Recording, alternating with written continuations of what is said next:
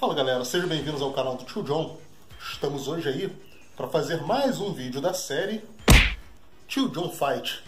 E dessa vez vai ser um episódio bônus, sim, porque essa semana inteira foi dedicada a este game, Dead or Alive. Você acompanhou os outros vídeos? A gente está fazendo vídeo essa semana inteira só sobre Dead or Alive. E hoje nós vamos jogar a versão do PlayStation 1. Vamos lá conhecer ela?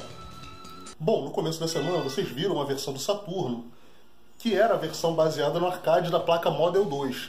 A versão do PlayStation ela foi baseada numa outra placa que foi feita para comportar melhor esse jogo e suportar melhor a sua adaptação para o PlayStation. Bom, vamos jogar hoje. Já jogamos com a Kazumi, já jogamos com outros personagens. Vamos jogar com a Tina aqui no PlayStation. Vamos lá? Bom, a Tina é uma personagem baseada muito em agarrões, né? Então ela tem vários, diversos tipos de agarrões aqui. um mais legal do que o outro. Ai. Ai, quase que consegui. Inclusive alguns em sequência, como é o caso do. Tô tentando fazer isso aqui. Ah, pegar por trás. Ah, ele tá virando muito rápido. Ah, não consegui. Vamos lá. Ela é uma personagem muito forte, bem legal. Bom, essa versão do PlayStation vocês já podem ver, né? Quem conheceu a versão do Saturno, ela tem muitas diferenças gráficas. Mas existe até hoje uma discussão, né? Qual apresentou os gráficos mais legais. Ambas têm suas características, suas vantagens e desvantagens, mas particularmente eu prefiro a versão do Saturno.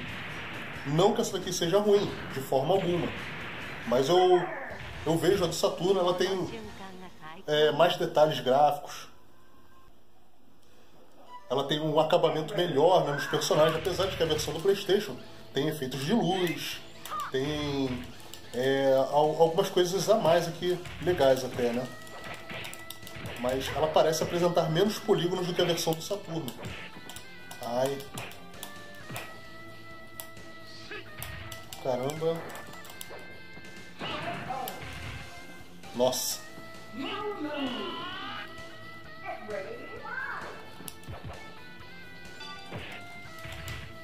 Eu esqueci quase tudo dela, cara. Inclusive os agarrões.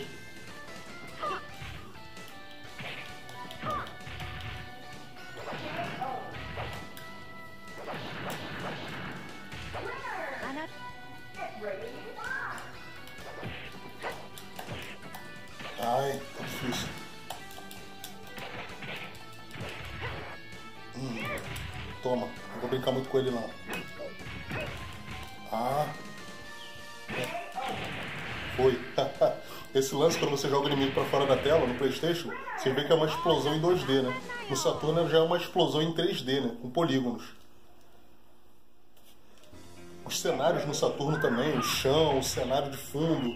Aqui no, na versão do Playstation, a gente tem bem menos detalhes do que na versão do Saturno, onde é feito com paralaxe, né? um efeito lá para simular uma rotação no cenário.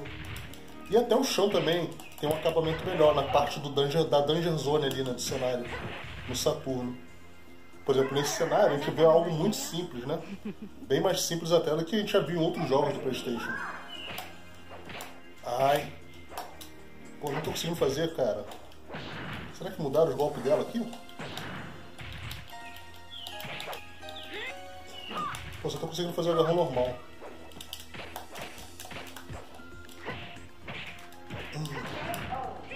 Não tô conseguindo mesmo. Infelizmente. Já tem algum tempo que eu não jogo essa versão do Playstation, então é, eu percebo que algum, alguns golpes são diferentes a execução. E aí o John Lee, esse cara é muito chato, cara. Isso, essa sequenciazinha pelo menos é boa. Isso. Aqui pelo menos manteve também, ó. Ai, nossa, cai lá na Dungeon Zone. Ai. Consegui matar ainda. Não sei como.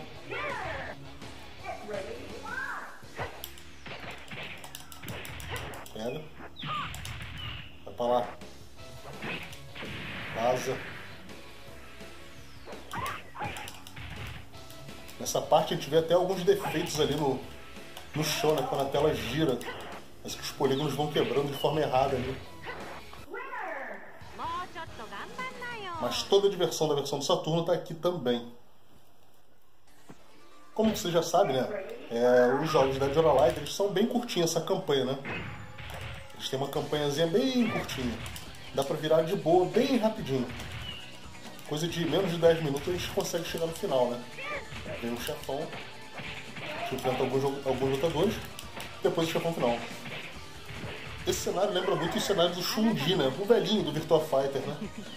Inclusive ficou bem parecido com a versão do Saturno, que também não tem aquela ponte, né? A barca era andando. Ficou quase uma cópia carbono essa fase aí. Ai. Caramba. Né? E esse velho, esqueci que não pode ficar brincando com ele.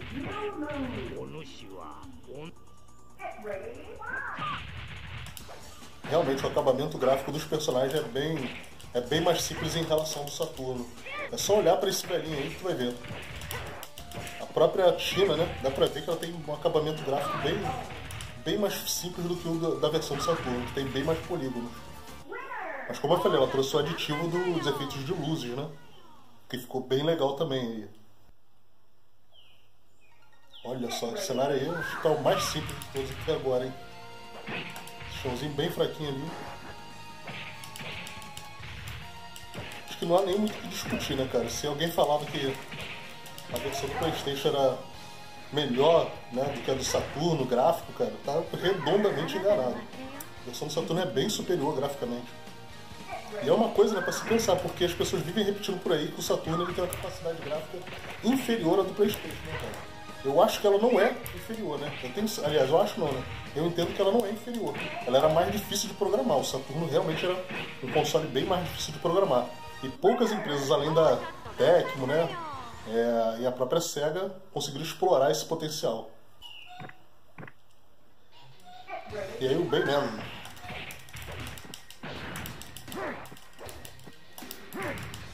Ai.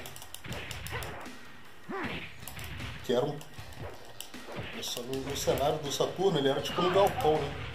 Aqui a gente enfrenta ele no, no deserto, né? Fizeram algumas diferenças, né? Pena que eu não tô conseguindo fazer nenhum, nenhum dos agarrões, cara. Ah, fiz um. Hum, quase consegui fazer o segundo, cara. Nossa, moço. Ah, desgraçado. Matou. Começar a querer brincar com ele. É que no Saturno era diferente aqui a execução do, dos agarrões, né? De sequência. Aqui eles mudaram. Não aceita não, cara. Hum.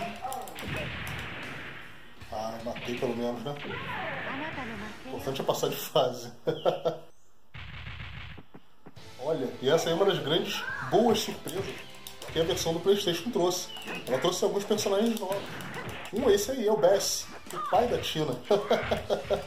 Justamente o pai dela. E ele só foi aparecer na versão 2, no Dead or Alive 2. Mas na versão do Dead or Alive do Playstation ele já apareceu aí também.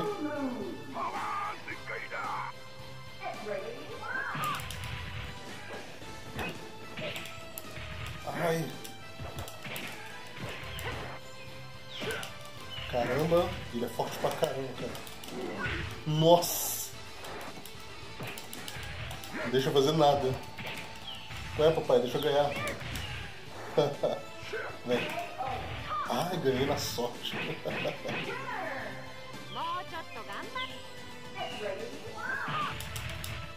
ah, tentar manter a distância dele.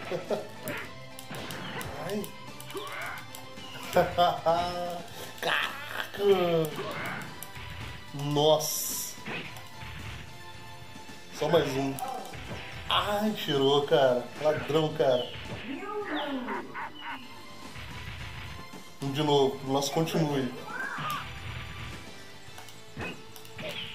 Nossa, ele é muito forte, cara.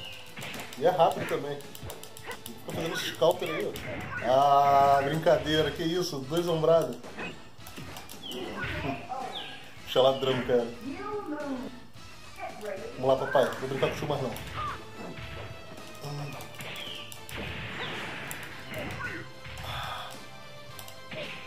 Pô, tirou uma corridinha. Foi, ganhei. garantiu o terceiro agora também. Foi. Mantém distância. Vai pra lá. Ai, errei. Ah, o bicho vai roubar, cara. Vai roubar, maluco. Pô, ganhei na sorte. Foi. Ele queria me ganhar, cara. E agora vamos enfrentar Kazumi. Olha, uma das minhas personagens favoritas nesse jogo. E vindo com uma roupinha diferente. Isso é facilmente a personagem mais equilibrada, né? mais ladrona do jogo, Kazumi. Tem combos, sequências, golpe pra tudo. Ai, ai, ai. Até um, um golpezinho diferentes ali, né? Realmente essa versão do Play, né? Ela é praticamente um prequel né, do, do Dead or Alive 2, né? Com alguns golpes e personagens novos. Que só foram aparecer na versão do Dead or Alive 2. Ai, nunca acerta, cara. Nossa! Não, mais um continue, vamos lá. Só mantendo a distância. Ah. Nossa. Caramba. Foi. Tem que se manter um cuidado aqui, uma distância dele, dela, né? Ela rouba, cara. Por sorte dessa. Ai, o voador que nem sempre pega. Ah, ela tá defendendo agora. Ah, ah não acredito. Pô, ela tira. Foi difícil assim. Que isso? Passou pelo outro lado. Aí eu errando tudo também. Ajuda, né? Tô ajudando ela.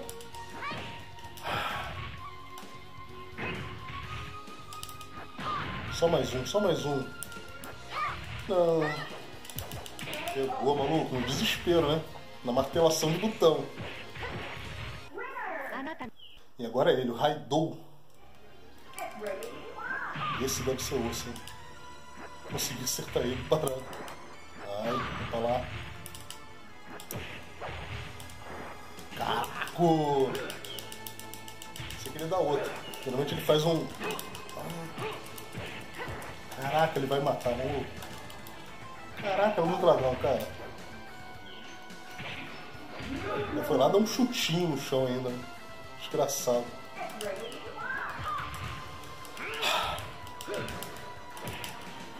Foi.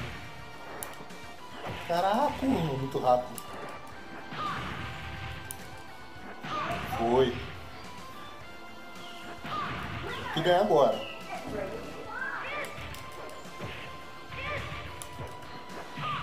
Dando sorte. Tô dando sorte. Caraca, dei sorte pra ele perfeito. Só no macete da voadora, né? Estilo Mortal Kombat. E aí, com o final de Dead or Alive no Playstation, eu vou me despedindo de vocês.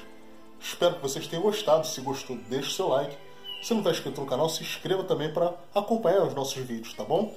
Não esqueça de deixar nos comentários que outros jogos vocês gostariam de ver nessa série, tá ok? E também comente aí se está gostando dessa série aí. Se você gostou, né, na verdade, dessa série aí inteira, né, semana inteira Dead or Alive. Essa semana inteira dedicada só a esta série. E se você quer ver outros jogos assim também, numa série, uma semana inteira só com uma série de um jogo de luta, tá bom? É isso aí, galera. Agradeço quem assistiu até aqui. Um grande abraço e até o próximo vídeo. Tchau, tchau.